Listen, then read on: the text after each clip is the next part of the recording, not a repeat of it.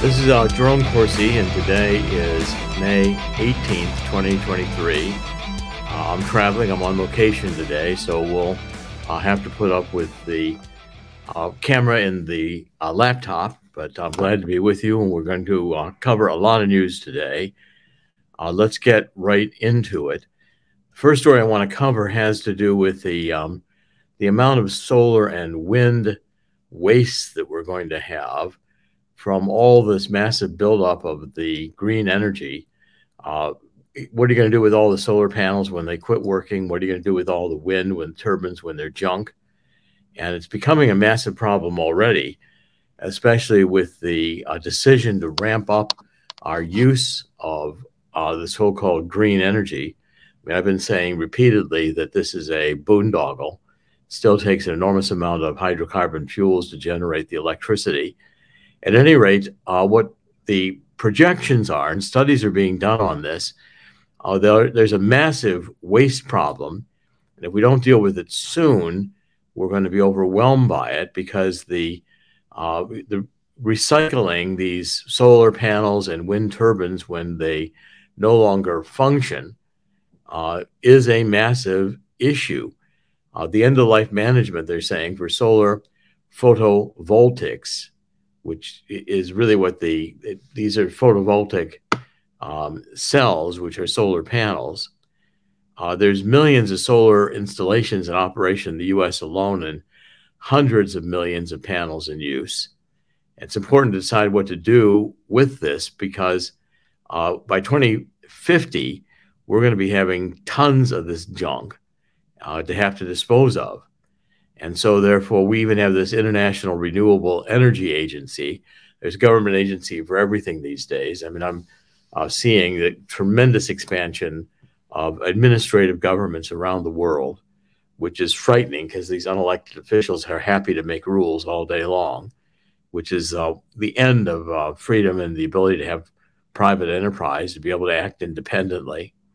At any rate, uh, the projections are that we'll have about 1 million tons by the end of this decade of solar junk and wind panel junk. And the United States is expected to have the second largest number of end of life solar panels by 2050. And the government must establish regulations for dealing with waste solar equipment and turbines. Well, of course, more regulations, uh, what to do with all this junk. And um, essentially since 2021 the wind energy's technology office another government agency part of the department of energy they're establishing blade recycling technologies to um, get the entire wind turbine businesses when they're junk gone and of course you've got lithium battery problems which are again hard to dispose of these these rare minerals are can't just be thrown in a waste dump or recycled by putting into a landfill. You know, essentially, we've got to have something that makes them detoxify. So you can take the uh, companies like Solar Cycle, which takes the solar panels and sells the silver and copper recovered as commodity on the commodity markets, as well as selling glass, silicon, and aluminum to panel manufacturers. The problem also is that China's got about 90% of the market on making solar panels right now. And China, I'm sure, is not going to be interested in any recycling effort. So, uh, what we do with all this junk is going to be an interesting issue because the solar panels are going to have a limited life. They're not going to last forever. And that's, I think, just inevitable. Uh, I want to start here. Okay, here we go. So let's go on here to the uh, next story and uh, essentially the the power grid. And these are both, I think, issues. I'm very concerned that the solar and wind idea is a uh, more of a fantasy. It's really not a very well thought out idea, and the technologies don't really work on the scale that they're going to have to work if we're going to support and have a modern industrial state. One of my major themes has been to understand, and I've, the book I've written on the truth about energy, global warming, and climate change is that this is this is really a neo-Marxist agenda to shut down capitalism. We covered yesterday that the real solution, a growing solution, even a new film coming out by Oliver Stone, nuclear power is the solution. Uh, the global warming crowd does not want a solution. They want the destruction of the modern industrial state. If we still, the, there's going to be a massive pushback by the climate change crowd of saying nuclear energy is dangerous because they know it's a solution. They don't want solutions. Uh, the reality is, in this next article, I think covers it extremely well, is that uh, more than two thirds of North America is projected to see electrical outages when temperatures spike this summer because many utilities uh, in parts of the country do not have sufficient reserve generation capacity to meet surges in demand. And according to the uh, annual summer reliability assessment, which is done about May 17th uh, every year by this North American Electric Reliability Corporation, which is NERC, NERC, again, a um, North American. I, there's a big push going on quietly to have a put, putting together of the United States, Mexico, and Canada. Uh, that move has never stopped. What I call the North American Union. I was on it in 2010 when uh, George W. Bush had the Security and Prosperity Partnership of North America. Well, right now we're getting another. The rail unions are coming together to put the railroads of Mexico United States and Canada as one giant North American rail system for moving containers. That's happening. Reported on that here before. We'll continue to report on it.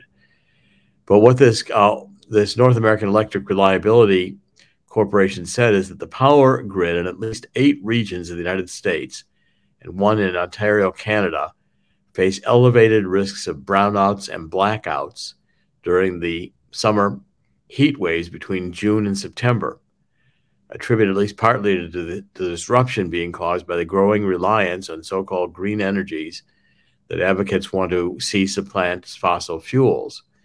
And what this NERC organization said, the elevated risk profiles that we are seeing are driven by a combination of conventional generation retirements over the last couple of years, a substantial increase in forecasted peak demand and new loads coming we are electrifying more than we ever had in the past. This whole idea of electrifying, electricity is clean because it doesn't burn fossil fuel, doesn't understand that you've just pushed the fossil fuel issue to in the background. It's still there. You still have to generate the electricity, and wind and solar don't do it. They're only going to generate about 12.5% of all the electricity, the energy needs in the United States today, despite all the billions of dollars get thrown into these technologies. We don't have a solar battery that the size of a flashlight battery that can power a city. And the wind doesn't blow all the time. The, the sun doesn't shine all the time. And you have to store this energy in batteries. You can't just have it available like hydrocarbon fuels to, to burn when you need it. It's extremely inefficient, but yet it's it's it, it's more of a uh, a phenomenon. It's more like a fad, a popular delusion that we're having the planet because of global warming. So I've said over and over again, carbon dioxide is a very, very trace molecule in the atmosphere. And yesterday we covered as well the attack on nitrogen, uh, which is going to collapse farming. Farms are being closed in countries like Denmark, 3,000 farms. I mean, uh, this is insanity. Uh, we don't have the idea that how are we going to support billions of people in the world if we don't have cheap, reliable energy and it's available both in hydrocarbon fuels and in nuclear. If we deny ourselves the power to run these modern industrial states, we're only going to achieve the globalist goal of killing billions of people in the world. And I'm trying to warn everybody that this is insanity. It's really suicidal. Chris, do you have any comments? I wanted to talk about those rolling blackouts and uh, the fact that some of these people with smart thermostats had to deal with Colorado uh, freezing them at one point. When there's this is why I'm not a big fan of the smart home or any of these things where somebody else can control what I have. You brought up something interesting about the environmental issues when it comes to uh, dilapidated solar farms and wind farms. Right. I am I I have to ask, what happens to these places? You just leave this stuff there? And another thing, this whole war on farming, is this another way to try to weasel land for things like this? And then, as I said before, what happens? They leave this stuff here. They don't recycle. They don't. Uh, they don't improve the land afterwards. It's it, they just leave the junk. I mean, and right. Solyndra goes bankrupt, and uh, Obama spent billions of dollars to make these programs work, and there's just junk all over the place because they don't work, and they get abandoned. And uh, you can see in the picture you've got, which is a very good one, of the strewn solar panels abandoned and not being used. This is this is the future of where we're at now. The, the point I want to make, and increasingly, please pay attention to our sponsors at the top of the page and Swiss America. One of my major themes is that the, the dollar is going completely um, haywire. I mean, we're, uh, I'm going to cover it in a minute, the debt crisis. Uh, get some gold and silver. If you'll please go to the sponsor, look at this Walking Liberty half dollar offer, fill out the form, uh, talk to Swiss America. You can think about putting your IRAs and your 401ks into gold or silver. Silver is going to appreciate faster than gold. But in the economic crisis we're going into, and I'm warning everybody about it as hard as I can that we're going into it, uh, the dollar is going to deteriorate rapidly in value. And the only way to preserve your purchasing power is to have some gold and silver. I'm encouraging everybody to really talk to Swiss America. Okay, let's get back to the news. The next couple stories here I think are also very important. Uh, the the I, I was kind of shocked to see this one. The American workers are now testing 25% of American workers. This 25 year record. Uh, legal marijuana is expanding, of course, across the country. And um, overall drug use among workers tested by employees has increased steadily last year. Well, I guess it would because of all the economic crisis we're going through. You know, we're not allowed to talk about the Durham report anymore. I see people are getting banned on sites like LinkedIn just for mentioning the Durham report. Durham report made it clear that this entire Russian collusion was a hoax. We knew it. I knew it. I was part of, you know, part of the Mueller investigation. They wanted me to say I had a tie to Julian Assange, the prosecutors. I didn't. They offered me a plea deal. They were going to indict me for lying. They were the liars. I never got indicted. I refused their plea deal. I could not stand before a judge and plead to a lie to keep myself out of jail. I couldn't do it couldn't swear before God to a lie. And uh, I think my faith really saved me in that one. But the point is, we now know it's the government that was the criminals, and the Department of Justice is completely biased towards Democrats. And uh, Hillary Clinton got a pass on the Clinton Foundation, and I'm um, even hearing reports that the, the those investigating uh, the Biden family are, you know, being dismissed or reassigned within the FBI. We've got political justice going on, which is no justice at all. We're like the KGB and the Stasi. And again, reporting on all any of this is toxic, but not reporting on it is lethal. And we need to preserve our freedoms, and it's time to demand that we uh, either close down the FBI, uh, which is what I've been recommending for years, close down the entire federal government, move it all to Death Valley, and see how many of these bureaucrats want to relocate.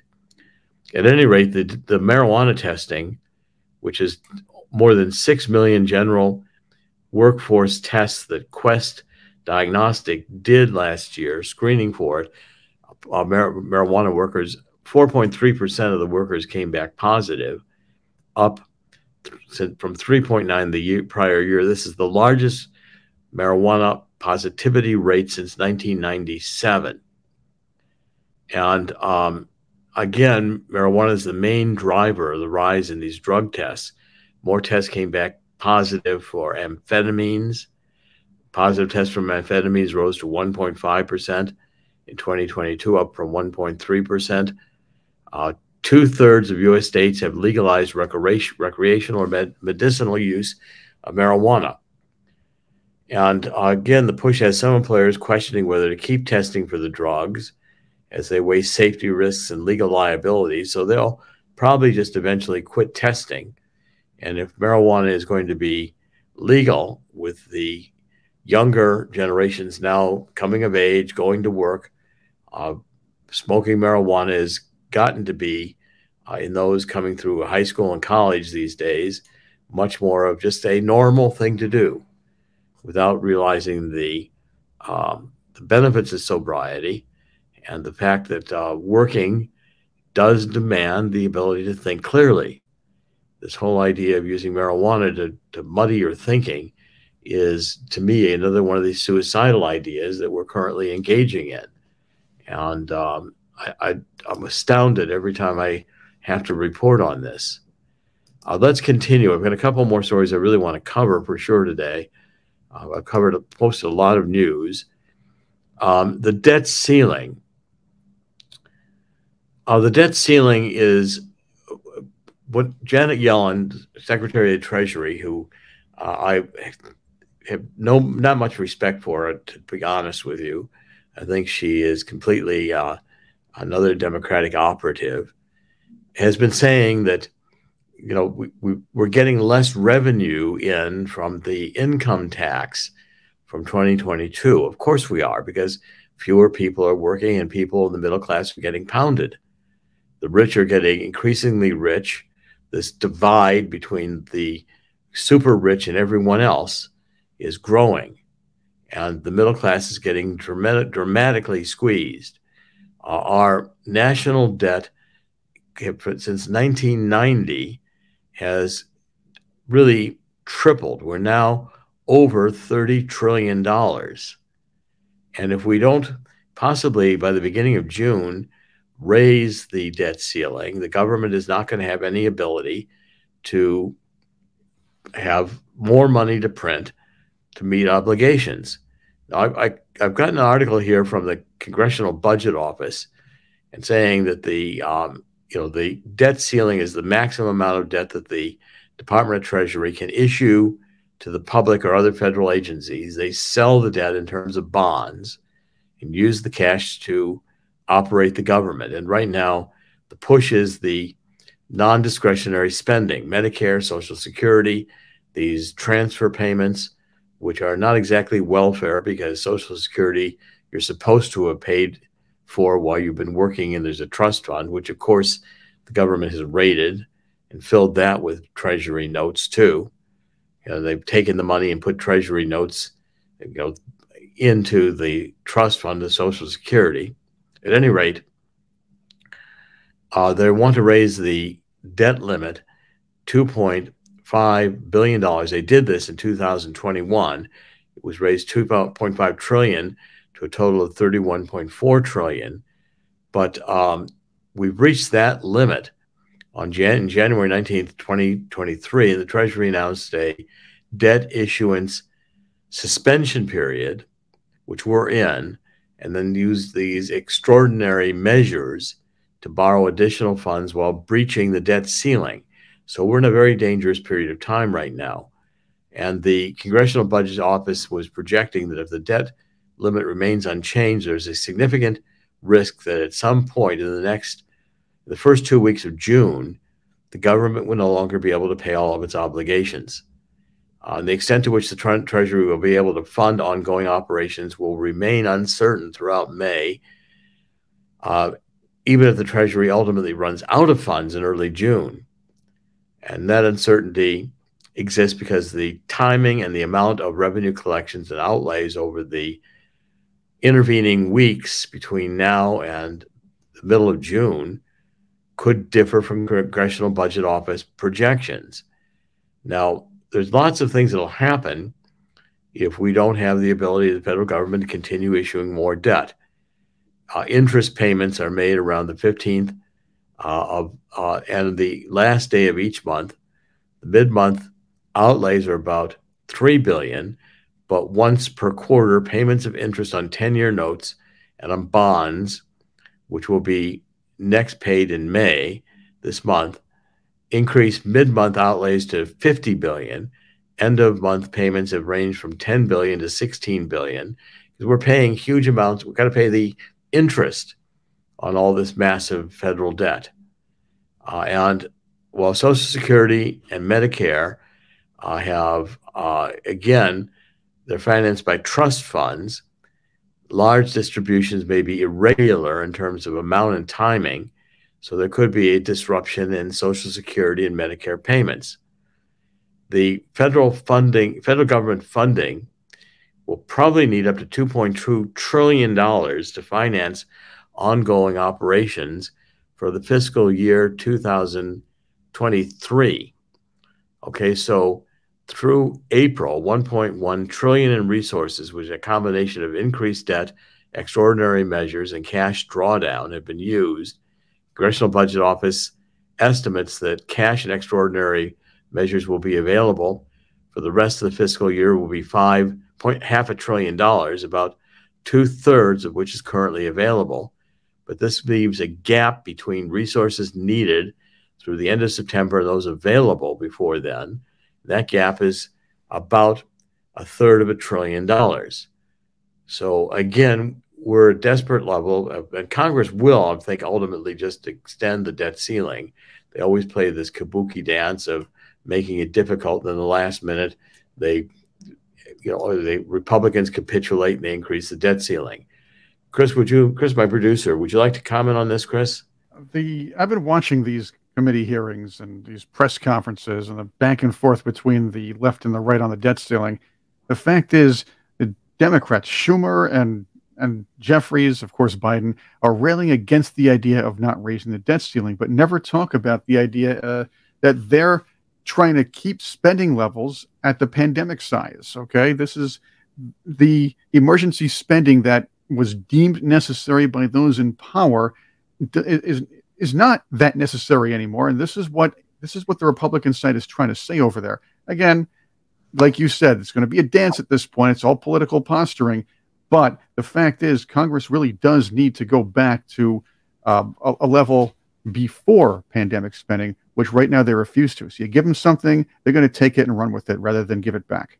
Yeah, I mean, once Congress learns that they can spend the public treasury to give away money to people, and this was the Cloward Piven theory, two sociologists at Columbia who basically taught Barack Obama and a generation of the left that the way to destroy capitalism, another way to destroy capitalism, was to simply have all the welfare programs in place, which are well intentioned. So, you know, the Kerr Mills bill, which was the 1960s, was the first Medicare, and it was supposed to be just for the indigent and it was passed under Johnson's administration. But of course, that immediately gets expanded to Medicare and Medicaid. And now the Democrats want Medicare for everybody, not just the uh, those who are retired, but everyone. And so these are great ideas. I mean, sure, you know, the, the Piven idea was everyone should get a government check. They should have a guaranteed annual government salary. Just send everybody send everybody a trillion dollars. They call it universal basic income now. Right. And it, and it was actually presented as a legitimate idea in the Democratic primary uh, a couple of years, uh, 2020 presidential Democratic primary. Bernie Sanders would be in favor of this kind of an idea. I mean, Andrew Yang, Andrew Yang was in favor of this. He said we should put it together a, a universal basic in, income. Yeah. Uh, it doesn't make a lot of sense. What it does is force us to print more money. Well, it, it, it means more inflation, and I think that the uh, Federal Reserve, which said they were going to pause on increasing rates, there's already pressure from Wall Street, seeing that inflation is not going down, and there's they report they report it inaccurately. They don't report accurately the inflation numbers, so we don't have a really good sense of it. But the point is, if you the next story, which I'm also watching, is that the credit card debt in the United States is nearing a trillion dollars. Now that's another that's another milestone because again, trillion dollars. We've never had a trillion dollars in debt in credit cards, and it's it's happening. Okay, now with a trillion dollars in debt, what we what you'll see is that uh, essentially what has been the pattern is that people run up their credit cards during the holiday season and then they pay it off in the first quarter. Well, that didn't happen this year. What happened is that the debt did increase during the holiday season, but it's continuing to increase. So essentially, inflation is not is uh, not slowing enough. it's still squeezing people's budgets. That's the problem. You have this Elizabeth Hansen, professor of economics at American University. Uh, she was the author of Bankrupt in America and um, History of Debtors and Their Creditors and the Law in the 20th Century. She's saying essentially that uh, it seems likely that the first fourth quarter uh, run up in balances went towards groceries and everyday bills rather than holiday expenses. And people are having a harder time paying that debt back. So what happens is people, okay, find the higher prices. They don't want to list, they don't want to listen their standard of living. Who does? And so they, for a while, begin using credit cards in order to subsidize their standard of living. Well, that's great as long as you, you know, decide you're going to live on credit. But the problem is you're also going to be paying interest on that credit. And credit card debt interest is very high, as high as 20%. So as soon as you get into credit card debt, it's hard to get out of it because it takes a massive amount of spending and available income in order to reduce the debt that you've lived on. Living on credit cards is simply a bad idea. And uh, unfortunately, all of us have had to do it from time to time. But again, unless you're disciplining yourself to really understand how dangerous this is, uh, you can't do it forever. And if the middle class is living on credit cards, we've got a very dangerous situation in this country where the inflation is basically going to cause a fundamental crash. Well, we're self destructing, we're uh, destroying food cycles, we're making energy much more expensive. We're not utilizing nuclear energy, which could be a solution to readily available and cheaper energy. Uh, we're not using hydrocarbon fuels. We're attacking um, gas burning stoves. I mean, this is insanity. Uh, the Democratic Party here is on a suicide mission, and that the Democratic Party has become a neo Marxist program. And these ideologies, the save the earth, which we're teaching the children, so kids are now in school afraid that mommy and daddy are going to kill them because we're going to have global warming and they're not going to survive. This is nonsense. Uh, the planet is 4.6 billion years old. Human beings have been here for only a few million years. We didn't have to save the planet. The planet saved itself. And uh, our puny ability to impact the climate is in a, in the climate's a vast and complex system. And if people would just, again, study the science even a little bit, I mean, I've, tried to explain the science in pretty much common sense terms in that book about the truth about energy, global warming, and climate change. And I'm very pleased it's done well.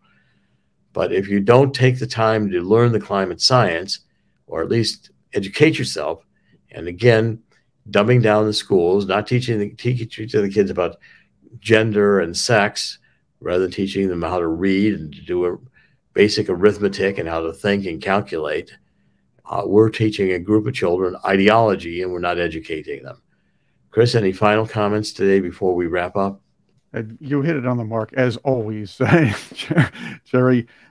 We're educating kids to believe that uh, global warming is actually happening and it was always man made. Forget the predictions, the many predictions from the alarmists that have not come true. Forget the fact that polar bears are not swimming in warm tropics anymore. Okay, I'm exaggerating that point, but you understand where I'm coming from here. Al Gore and his inconvenient truth or Michael Mann with his books about all these dangerous perils we're going to suffer, or earthquakes and the, you know, the floods and the, they say, oh, drought, that's because of global warming. Anything that happens is because of climate change. Snowfall, excess, climate change, drought, climate change. Anything that happens, they just blame climate change. Inflation, climate change. Uh, bad television, climate change. Everything is climate change. Climate change or racism. Take your yeah. There we go. Yeah. I can't teach arithmetic because it's racist. You know, I mean, oh, it's, can't, yep, can't bring a peanut butter and jelly sandwich to school. Same reason. this insanity, and the rest of the world is laughing at us for taking the greatest economy the world has ever known, the freest country, and enslaving it on a bunch of popular delusions that uh, you know are, are, like selling witchcraft in the in the Middle Ages. You know, people are still not sufficiently educated to know when they're being lied to. And this is a massive, repeated lie that has become you can't you, you can't even oppose it in the social media or the press without being deplatformed. Yep. And the Department of Justice is going to prosecute you for telling the truth. I mean, this is, I, I, it's hard to believe we are in such insanity in the United States of America. And I think the rest of the world is laughing at us. But the BRICS nations are taking steps and they're going to have a union between Russia, China, and Iran, which is happening. And um, I fear for where the world is going. Uh, to me, it looks like towards nuclear war. And uh, I'm watching Ukraine, in which now NATO is saying we should give Ukraine uh, F 16 fighter jets. And Zelensky saying he wants to uh, bomb Russia. You know, we've already had drones attack Russian supply, you know, oil depots. Uh, this war is escalating. And if NATO has a, a, proxy war, which we're fighting, and the United States against Russia, and we have this counteroffensive, make any massive uh, gains, Russia will escalate rapidly. And we're headed towards nuclear war. And it doesn't seem to be a rational solution to it, given the insanity that is now dealing with our ruling classes. Chris, any final comments? If you look through history, ask yourself this question How many societies around the world has the left, the political left, destroyed, whether they've been in control or they've been infiltrating the culture? Please take a look at our sponsors. Uh, also, my Vital C. Uh, people are saying I look younger. I mean, I have been at this now for about 20 years trying to warn people about what we're going through. Just pull down our sponsors. You can take a look at them. My Vital C, Carbon 60. Also, it's a, a miracle molecule give it a try. I think you're going to like it. I've been taking it now for four years solidly, and it has longevity properties. It has uh, properties which energize your thinking. Uh, I think you uh, will find even the cats and dogs like it. Uh, we'll do us great. And we have a store now where you can buy gear with our logo on it, Truth Central. I'd like to see this logo used around the country. Uh, thank you for supporting us. Uh, in conclusion, I'd like to say that um, first of all, today is uh, today is Thursday, May eighteenth, twenty twenty three. Um, uh, traveling, we'll be continuing to do the show tomorrow, and um, tomorrow's Friday, so we'll be doing concluding the week with another broadcast. And um, thank you for joining us. In the end, God always wins. God, some of this looks dark, maybe difficult, and we'll get through it. God will win this. God created all this. He can pull the plug on it anytime he wants. And so, therefore, in the end, God always wins and God rules. Uh, so, in the spirit of Second Chronicles 7 14, I encourage us all to get on our knees and pray. Uh, this is a problem that God can and will solve, uh, with or without us. And I'd rather that we be with God. Uh, thank you for joining us. Uh, this is Dr. Jerome Corsi with thetruthcentral.com. We'll, we'll be back tomorrow. We're broadcasting every weekday. Uh, God bless. We'll see you tomorrow.